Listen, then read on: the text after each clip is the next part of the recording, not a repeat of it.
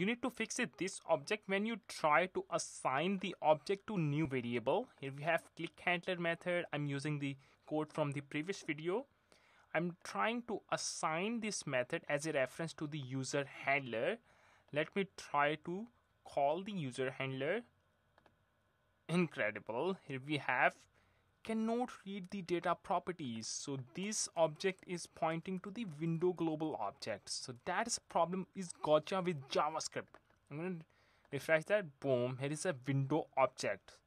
How can you fix this problem? I'm going to use the bind method. We need to provide the context which is user. Now this dot owner is available and this dot data is available for the click handler.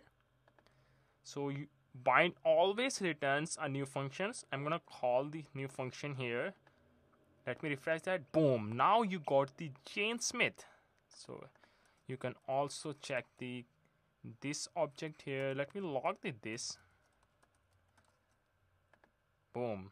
This is the user object. The context is user